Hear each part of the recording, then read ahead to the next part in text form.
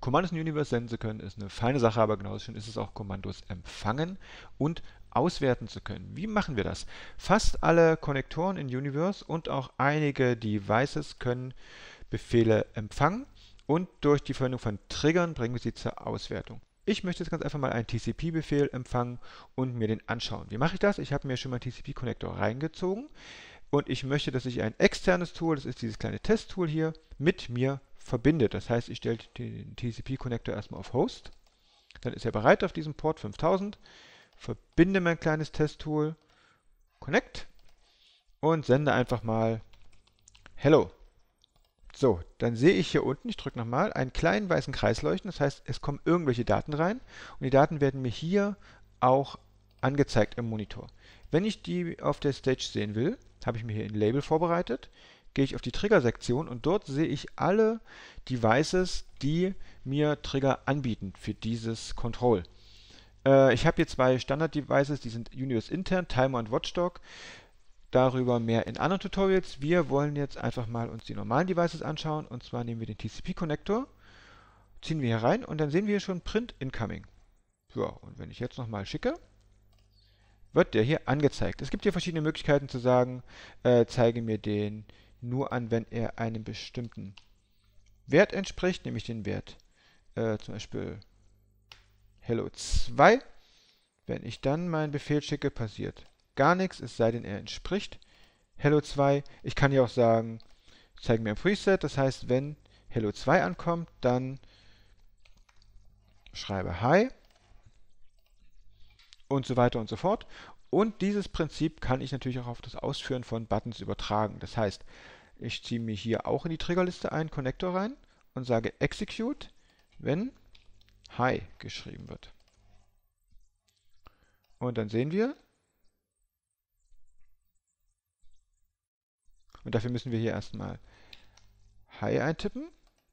Und dann sehen wir, wie der Button ausgeführt wird und wie zum Beweis ist die Timeline hier auch losgelaufen. An diesem Punkt ein Wort zum Wildcard-System. Wenn ich hier gar nichts eintrage, dann kann jedes beliebige Kommando eintreffen. Der Trigger wird ausgelöst. Das heißt, ich kann hier irgendeinen Quatsch schreiben und trotzdem kommt es zur Auslösung. Ich kann auch nicht nur Execute senden, ich kann hier verschiedene ähm, Parameter modifizieren dieses Buttons, dass er zum Beispiel nur den Command Stack für Release oder Press auslöst und so weiter und so fort.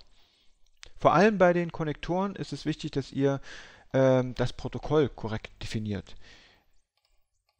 Ihr könnt jetzt zum Beispiel ein erwartetes Line-Ending abgeben, wenn ihr jetzt zum Beispiel sagt, wir erwarten einen Carriage Return am Ende und das kommt einfach nicht, dann bekommt ihr hier die Meldung, aha, ich habe Daten empfangen, aber die sind ungültig.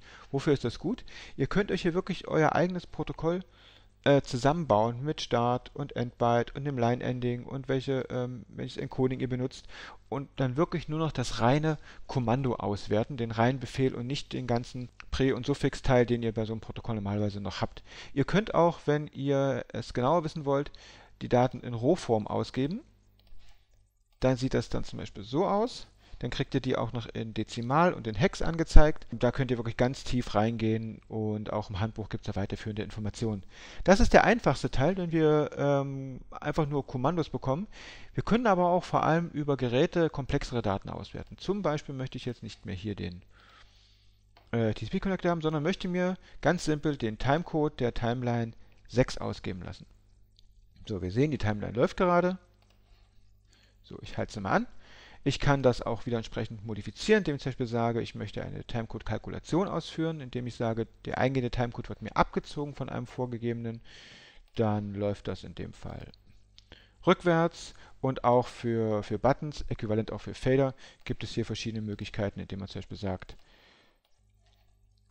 ich halte hier mal kurz die Timeline an. So, ich kann jetzt zum Beispiel auch sagen, wenn die Timeline unter einen bestimmten Timecode fällt, dann führe den Button aus und so weiter und so fort. Ich stoppe jetzt hier nochmal. Das geht in dem Fall für Watchout, für Pandora's Box und auch, wie gesagt, für einige andere Geräte. Spannend ist auch der Punkt, wenn ich über Pulte steuern möchte, über Artnet, über MIDI und wie es der Zufall will, habe ich hier ein kleines MIDI-Pult angeschlossen. Ich ziehe mir einen MIDI-Connector rein, dann meldet er auch schon, aha, ich habe mich mit dem Nano Control, das ist der, das kleine Faderboard hier, verbunden und ich möchte jetzt, dass meine Fader auf dem Board mit einem Universe Fader ähm, synchronisiert werden. Speziell für MIDI gibt es eine Sonderausgabe, damit ich immer sehe, was da reinkommt.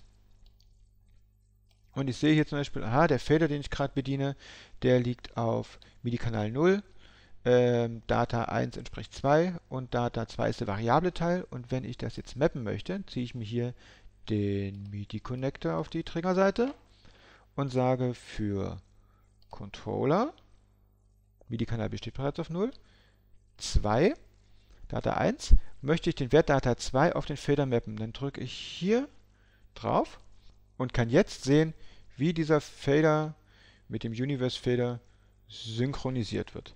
Auch hier das Wildcard-Prinzip, wenn ich hier gar nichts reinschreibe, dann ist es völlig egal, welchen Fader ich bediene, weil alle Fader erlaubt sind und nur der jeweilige Wert interpretiert wird. Was ist aber, wenn ich gar nicht möchte, dass ein Control auf eingehende Werte äh, reagiert oder zum Beispiel nur einmal reagieren soll und dann nie wieder? Dann kann ich zum Beispiel sagen, ich schalte hier Trigger Listen aus. Dann habe ich hier auch so ein kleines Sperrsymbol.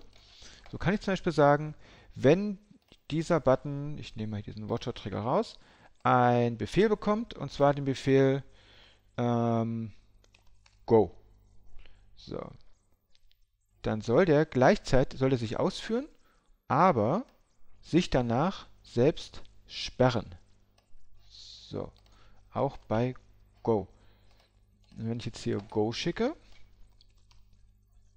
passiert genau das. Ich kann jetzt Go so oft schicken, wie ich will.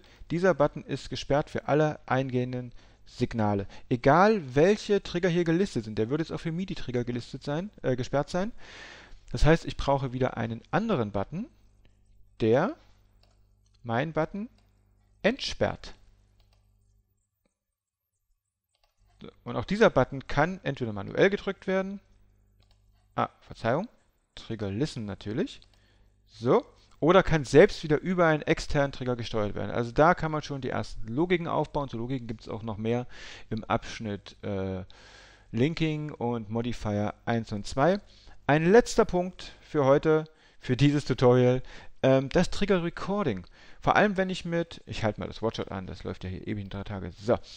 Vor allem, wenn ich zum Beispiel ein Pult habe und möchte nicht immer rausfinden, ja, welcher Knopf, ich drücke jetzt mal ein paar, ist denn jetzt wofür gut, ähm, möchte die aber als Trigger verwenden. Dann kann ich mir zum Beispiel jetzt hier einen Button nehmen.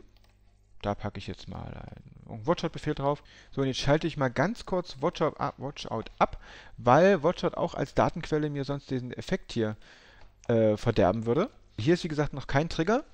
Sage jetzt Rechtsklick, Trigger Recording, dann habe ich hier so einen kleinen hübschen roten Punkt und wenn ich jetzt auf meinem MIDI-Board eine Taste drücke, wird diese Taste aufgezeichnet und automatisch hier als Trigger eingetragen. Wenn ich das jetzt nochmal drücke, wird der Button ausgeführt. Leuchtet natürlich gelb, weil Watchout hatte ich hier drin. Watchout ist gerade abgeschaltet worden. Warum muss ich Watchout gerade deaktivieren? Weil Watchout natürlich auch Kommandos reinsendet. Man muss also aufpassen. Der erste Trigger, der bei Trigger Recording hier reinkommt, wird aufgezeichnet. Aber wenn man das weiß, kann man hier sehr einfach sich seine, sein Pult quasi auf seine Buttons mappen, weil die ganzen Trigger vollautomatisch angelegt werden. So, das war der Rundumschlag zu Trigger. Was haben wir behandelt? Was sind Trigger im Allgemeinen? Einfache Trigger, die einfach nur Kommandos reinsetzen, wie zum Beispiel TCP oder UDP-Trigger haben wir behandelt. Wir haben uns komplexe Trigger angeschaut, die zum Beispiel von Medienservern kommen können, sind auf das Mapping von Pulten auf Universe eingegangen wie man Trigger gezielt unterbrechen und wieder reaktivieren kann und haben uns angeschaut, was das Trigger Recording ist. Vertiefende Informationen zu allem findet ihr natürlich im Handbuch.